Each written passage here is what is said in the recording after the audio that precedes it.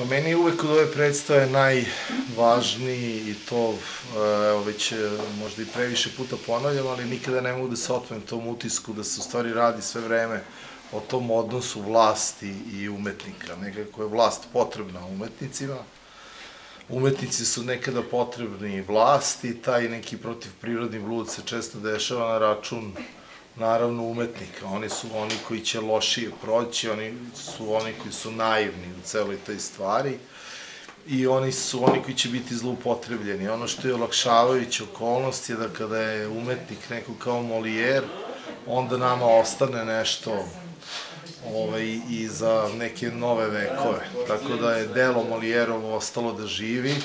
tako da je onda sve osmišljeno i ipak je na kraju umetnost negde pobedila, ako to sad gledamo iz ove perspektive. Iz perspektive Molijerovog života koji nije imao prava čak da bude sahranjen ni na groblju sa drugim ljudima, onda znamo kako je on prošao, ali evo, evo dela su ostala da žive. Pošto imamo izuzetno veštog pisca kakav je Miro Gavran, on počinje prvo nekakvim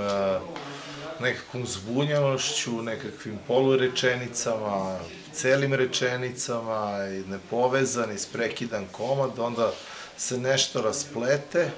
onda se desi ta predstava, onda kad mislimo da smo sve razumeli, onda dođe kraj, pa onda još jedan kraj u kome se dese neke dve, tri intrige, tako da je to od onih komada u kome imaš šta da igraš i u kome možeš da sviraš na više žica, u kome možeš da igraš e, različite stvari, da se publika zavede na jednu pa na drugu stranu, tako da je u tom smislu neka, nekakvo uživanje na prostoru koji nije veliki, ali se dosta toga zapravo desi. Baš smo se Vojni i ja podsjećali danas da je već 16 godina od, od tada, to je bilo 2002. godine, leto, i sećam se naravno svega, kako to sve izgledalo i eto, imamo naravno lepa i, i, draga sećanja na taj period.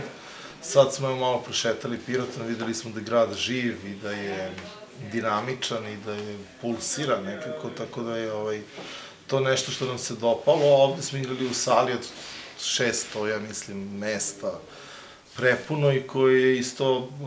odaje neki utisak u gradu da tu ima zainteresovanih ljudi da nešto vide i čuju i da svakako to zaslužuju i verovatno i mnogo više od toga.